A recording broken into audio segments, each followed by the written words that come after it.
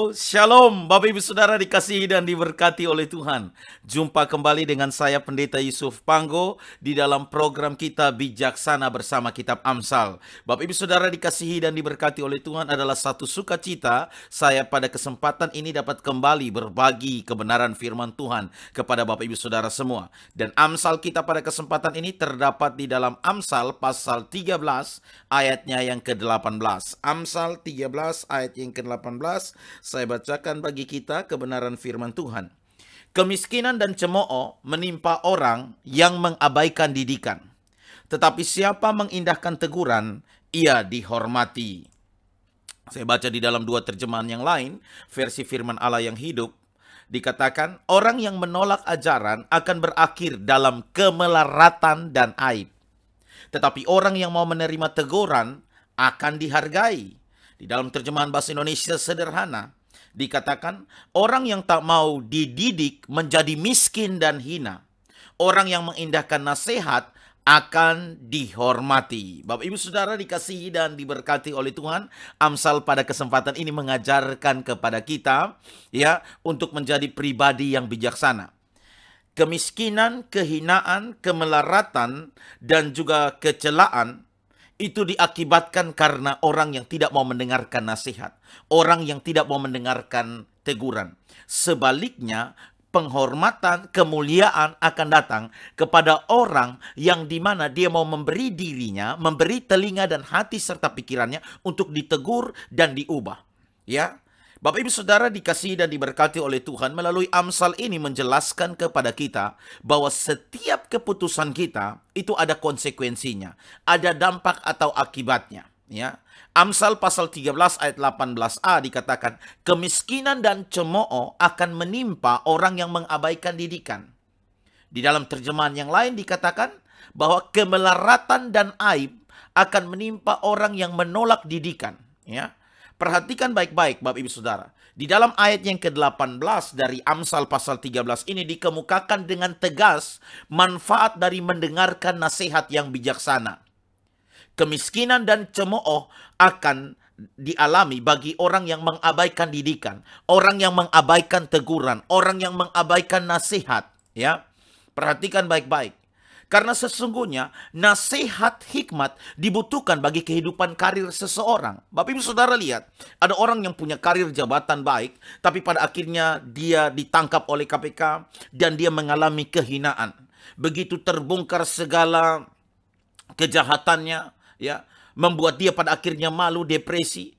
Padahal mungkin awalnya dia memiliki dudukan jabatan yang bagus, kedudukan jabatan yang baik. Namun pada akhirnya berakhir dengan kehinaan. Nah orang seperti ini karena tidak memiliki kepekaan ya atau memiliki hubungan pribadi dengan sumber sang hikmat yang sejati adalah Tuhan sendiri. Dia berjalan dengan keinginannya sendiri, mengabaikan didikan firman Tuhan, mengabaikan teguran firman Tuhan, dan berakhir dengan kemiskinan dan cemooh, kemelaratan dan kehinaan. Perhatikan Bapak Ibu Saudara dikasih dan diberkati oleh Tuhan. Siapa pun kita hari ini, sesungguhnya nasihat hikmat dibutuhkan bagi kehidupan karir seseorang. Bila seseorang terus menolak didikan, nasihat, teguran dari orang yang berpengalaman dari dirinya, Bila dia terus mempertahankan pandangan yang salah, pandangannya yang salah, dia tidak akan pernah mengalami kemajuan. Orang yang dinasihati, orang yang ditegur, orang yang dididik tapi tidak mau mendengar, terus mempertahankan pandangan yang salah, dia tidak akan pernah mengalami kemajuan dalam hidupnya. Dia akan tetap miskin ataupun mungkin dia akan jatuh miskin. Dan dengan demikian ia akan dicemooh dan dihina oleh orang lain. Bapak ibu saudara, kita lihat di negara kita ini. Ada banyak yang kita temui orang-orang yang tertangkap oleh KPK. Mereka begitu awalnya dihormati, disegani. Mereka punya harta kekayaan, punya kedudukan, jabatan. Tapi karena tidak mendengar nasihat sang, uh, sang hikmat, tidak mendengarkan nasihat firman Tuhan, tidak membuka hati nuraninya untuk dibimbing dan dituntun oleh sang hikmat, ya pada akhirnya mereka berakhir dengan apa? Kehinaan. Mungkin melarat belum mereka alami tapi kehinaan mereka alami. Nama mereka dibacakan ya mereka harus apalagi ya nama mereka dibacakan diumumkan di media kemudian mereka harus melewati persidangan Kasihan anak istri di rumah tertekan, anak di sekolah mungkin dibully, kamu kaya tapi papamu seorang koruptor. Seandainya hal itu dipikirkan jauh sebelumnya, mungkin tidak akan ada penyesalan, mungkin tidak akan ada keinaan dan cemooh. Nah karena itu Bapak Ibu Saudara, selama kita diberikan kesempatan, dengarkanlah teguran, nasihat, dan didikan dari firman Tuhan. Karena jujur ketika kita mengeraskan hati kita melawan firman Tuhan, kita tidak mau mendengarkan firman Tuhan, kita akan mengalami yang namanya jatuh miskin, atau kita tidak akan pernah kema mengalami kemajuan, kita akan tetap miskin dan dengan demikian kita akan dihina dan dicemooh oleh orang. Ini dikatakan firman Tuhan. Setiap orang yang menolak didikan, nasihat, teguran dari orang yang berpengalaman, dari sang fir hikmat, yaitu firman Tuhan sendiri, dan dia terus mempertahankan pandangan yang salah dan tidak tidak mau sungguh-sungguh bertobat, maka dia tidak akan pernah mengalami kemajuan di dalam hidupnya. Hari ini firman Tuhan datang berbicara kepada kita. Kalau Anda tidak mau mengalami kemiskinan dan kemelaratan serta mengalami cemooh dan hina, dengarkan firman Tuhan. Berikan perhatian kepada firman Tuhan dan ketika ada teguran nasihat, taat lakukan, ya. Dan percayalah berkat kemurahan dan kebaikan akan kita alami. Bapak Ibu Saudara, Bahkan di dalam Amsal pasal 13 ayat 18b menjelaskan, tetapi orang yang mau menerima teguran akan dihargai. Bapak Ibu Saudara perhatikan baik di sini. Berbeda dengan orang yang mengindahkan teguran, ia akan dipermuliakan pada akhirnya. Orang yang dengarkan nasihat dari orang yang lebih berpengalaman, orang yang mendengarkan nasihat, teguran dari firman Tuhan. Firman Tuhan berkata dia akan dihormati, dia akan dihargai, dan dia akan diper, dipermuliakan. Orang yang mau mengindahkan teguran adalah orang yang bersedia dikoreksi dan orang itu mau memperbaiki dan membangun dirinya. Akibatnya bukan saja kemuliaan diperoleh, melainkan juga kekayaan. Dikemukakan oleh salah seorang tokoh, teolog McCain, dia berkata bahwa seperti ini. Pada waktunya akan pada waktunya akan menjadi guru hikmat. Orang yang mau siap ditegur, mau memperbaiki diri, mau membangun dirinya. Pada akhirnya, ia akan menjadi guru hikmat. Yaitu orang yang sangat dihormati dalam masyarakat Israel kuno. Orang yang mau menerima teguran, orang yang mau memperbaiki diri, orang yang mau membangun dirinya, pada akhirnya dia akan menjadi guru hikmat, yaitu orang yang sangat dihormati dalam masyarakat Israel kuno. Perhatikan, dalam ayat ini, cemooh dipertentangkan dengan kemuliaan. Pilihan ada pada kita, Bapak Ibu Saudara. Anda mau tetap ber, pada prinsip pandangan Anda yang salah, keliru, dan Anda tidak mau memperbaiki hidupmu. Engkau berakhir dengan apa? Kemelaratan, kemiskinan, kehinaan, dan cemooh. Tapi ketika Anda berbesar hati menerima teguran, menerima nasihat dari orang yang lebih berpengalaman, mendengarkan nasihat dan teguran dari hamba Tuhan, mendengarkan nasihat dan teguran daripada firman Tuhan, dan ketika Anda ingin memperbaiki dan membangun dirimu, maka bukan saja kemuliaan yang menyertai kita, bukan saja penghormatan dan dihargai, tapi Alkitab juga mencatat ada kekayaan menyertai kita. Dengan satu tujuan, kita diberkati, kita menjadi kaya untuk kehidupan kita kita men menjadi berkat. Bapak Ibu Saudara lihat, dalam ayat ini cemooh dipertentangkan dengan kemuliaan.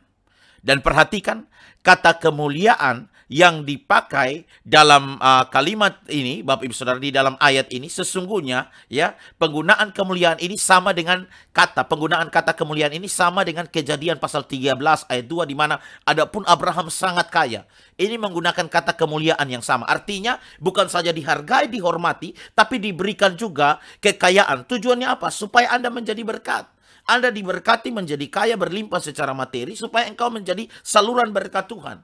Hal itu juga sama dengan bilangan 22 ayat 17.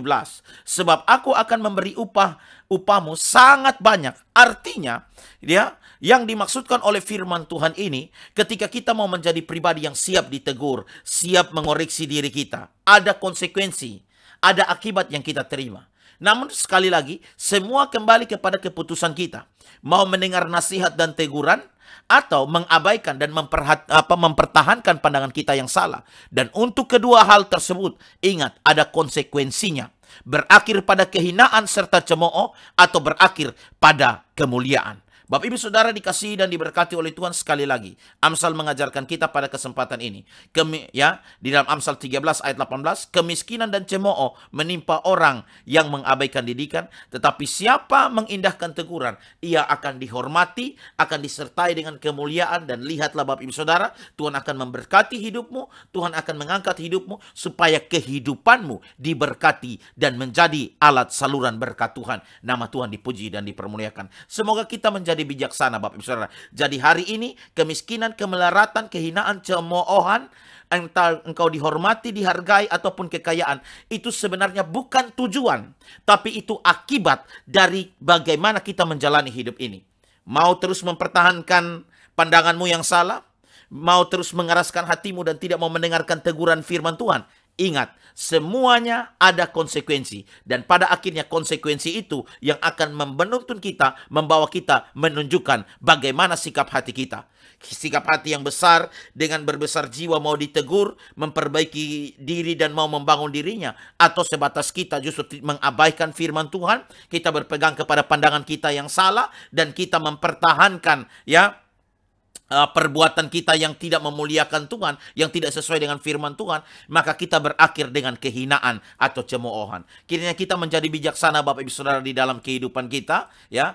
Kita terus berdoa sehingga Roh Kudus memberikan kita kekuatan untuk hidup di dalam jalan, rencana dan di dalam tujuannya Tuhan. Karena segala sesuatu yang kita jalani hari ini, segala kehidupan yang kita jalani hari ini dengan satu tujuan. Ketika kita nanti diberkati, kita ditolong oleh Tuhan, kita dihormati, dihargai, maka percayalah itu semua Tuhan mau pakai untuk supaya diri kita memberikan kemuliaan kepada Tuhan. Kembalikan semuanya itu untuk kemuliaan eh, kemuliaan kepada Tuhan. Karena kita menjadi pribadi yang mau siap ditegur, menjadi pribadi yang siap mau memperbaiki diri, dan menjadi pribadi yang siap mau membangun diri, maka Alkitab berakhir berkata semua akan berakhir pada kemuliaan, dihargai dan dihormati. Itu semua Bapak Ibu Saudara ya datang kepada orang yang mempunyai kebesaran jiwa, mau ditegur dan siap berubah ketika dia mendengarkan teguran, nasihat dan didikan. Tuhan Yesus menolong menyertai memberkati kita semua, kiranya kita menjadi lebih bijaksana. Shalom Bapak Ibu Saudara.